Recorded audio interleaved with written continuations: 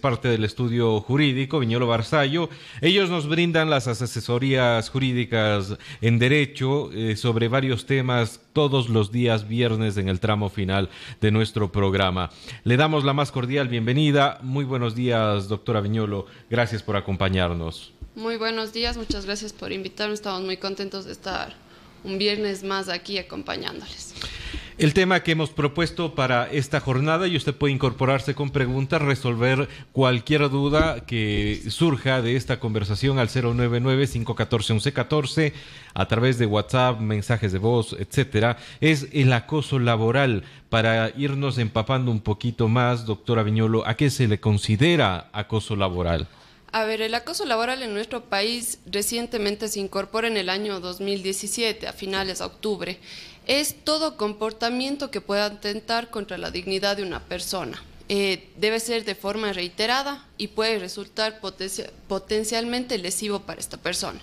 Eh, puede ser un comportamiento eh, que puede ser físico, psicológico, inclusive hasta sexual, que lo consideran en algunos países. El nuestro le dejo un poco al lado la parte sexual porque eso es para tema penal, pero es todo que pueda afectar a la dignidad y que no le permita trabajar en paz, que resulte en humillaciones, maltratos, incluso hasta una situación laboral que puede perjudicarse en tema económico y hasta resultar a que ellos quieran renunciar. Nos escriben al 099-514-1114 a través del WhatsApp y nos hacen la consulta precisamente del tema. Eh, buenos días a la doctora que les acompaña. Quisiéramos consultar si yo sufro de acoso laboral, ¿a quién debo denunciar? ¿Al Ministerio de Trabajo o a la Fiscalía? Eh, es una buena pregunta. A ver, el acoso laboral se le considera netamente eh, como competencia del Ministerio de Trabajo. Entonces, hay dos maneras. Lo primero se puede colocar un visto bueno, eh, que es una forma de terminación de la relación laboral, con lo que terminaría y derivaría en que el empleador eh, tendría que dar una liquidación con despido intempestivo a la persona. Pero también se pueden hacer denuncias anónimas. Es decir, yo acudo a la inspectoría y le digo, ¿saben qué? Yo estoy sufriendo de maltrato en mi trabajo, la paso mal. Eh, y muchas personas tienen miedo a las repercusiones que pueden sufrir porque también puede derivar en, la pérdida de su trabajo. Entonces se hacen las denuncias anónimas y lo que hacen los inspectores de trabajo es acudir a, eh, al lugar en donde está ocurriendo esta situación y hacer como una visita normal, pero que va derivada a eso, haciendo entrevistas a los trabajadores e intentando investigar la situación, porque muchas veces es difícil probar el acoso laboral.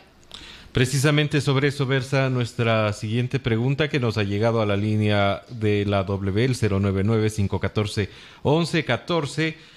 Yo estoy sufriendo acoso laboral, pero me he frenado de realizar las denuncias porque no sé cómo pueda probar. Mis compañeros no me quieren ayudar a relatar lo que yo vivo, puesto que seguramente ellos también sienten temor de perder sus puestos de trabajo o quedar involucrados en un proceso como este.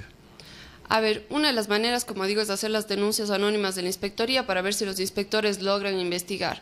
Lo otro, la mayoría, lo que yo recomiendo es que intenten los trabajadores poco a poco eh, irse generando sus pruebas. Acá es un poco difícil el tema de las grabaciones, porque si nosotros no decimos a la persona, te voy a grabar, nosotros no podemos utilizarlo como prueba dentro de un proceso. Entonces, muchas veces nosotros tenemos que eh, tener, por ejemplo, a veces hay correos electrónicos que les envían de manera muy agresiva o que les dicen, ¿sabes qué? Te voy a cambiar de posición en tu puesto. Entonces, muchas veces ellos les cambian a otro lugar de trabajo. Otro cargo. sí, o, son maltratos que les, que les difiere, que es muy difícil que sea en redes sociales o temas así pero se puede ir generando. También algo importante que tienen que hacer los trabajadores es hacerse eh, tratamiento psicológico. Entonces, con el informe del psicólogo también es una prueba muy importante porque ahí se da cuenta del estado mental del trabajador. Estamos conversando en nuestro café jurídico de los días viernes, un café que le falta café, así hay que quejarnos con Claudio, por lo menos, que debería apoyarnos en este tema, con la doctora María Augusta Viñolo del estudio jurídico Viñolo Barzallo sobre el acoso laboral. Hemos tocado y el público se ha incorporado a esta, a esta conversación sobre cómo denunciar, a quién denunciar y cómo probar esta denuncia. ¿Cuán frecuente es de que este tipo de cosas se den? Es, es decir, ¿hay una alta incidencia doctora, de lo que usted conoce de casos como estos presentados al Ministerio de Trabajo?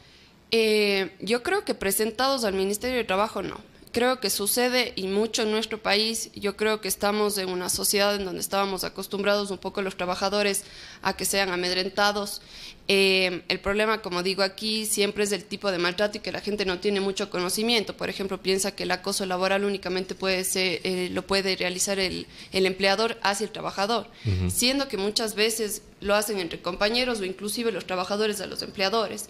Entonces yo creo que las denuncias por el momento a la autoridad de trabajo no son muchas y también como digo las pruebas son difíciles, entonces a veces cuando llegan con un caso hacia nosotros tenemos que dar la asesoría para ver cómo podemos conseguir las pruebas para que de esa manera tengamos un caso, porque muchos abogados se aventuran a iniciar un proceso sin tener pruebas y eso ya resulta en, una, en un roce de la relación laboral y también puede perjudicar al trabajador. Entonces yo creo que no, la verdad no se denuncia mucho y ocurre bastante en nuestro país.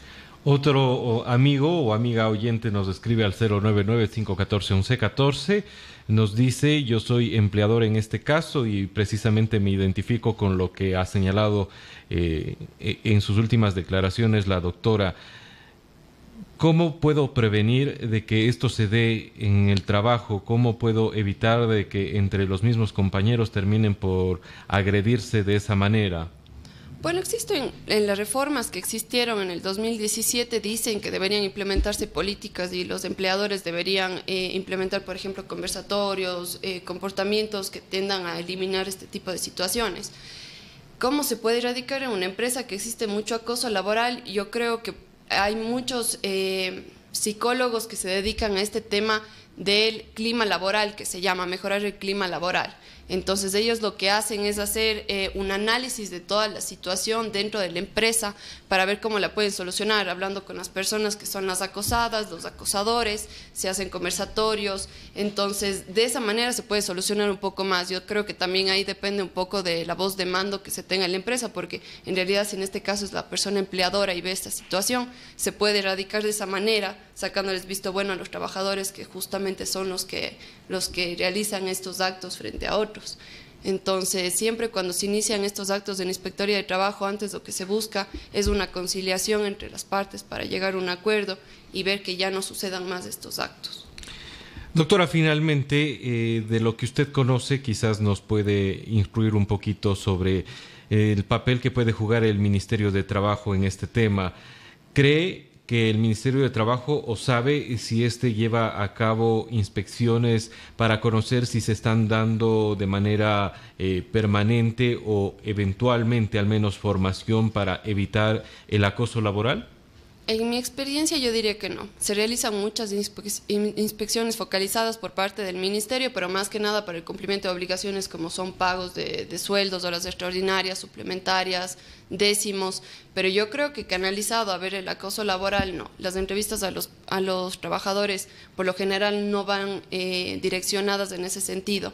Entonces yo creo que en eso falta un poquito... Eh, que se comprometan los inspectores a ver estos temas. Entonces, como digo, con las denuncias anónimas esto puede suceder mucho más porque ahí los inspectores de trabajo van a saber que tienen que ir enfocados a ese tema. Obviamente no van a ir directamente a decir qué pasa y acoso laboral, sino también direccionados en otros temas de cumplimientos de obligaciones, pero específicamente en esto. Yo creo que eso en nuestro país nos falta un poco, todavía falta jurisprudencia, falta doctrina, y yo creo que los profesionales también necesitamos eh, dar conocimiento a la gente sobre qué es el acoso laboral o moving, como también se le conoce, para que denuncien un poco más y se atrevan a que sus derechos se respeten en este, en este caso.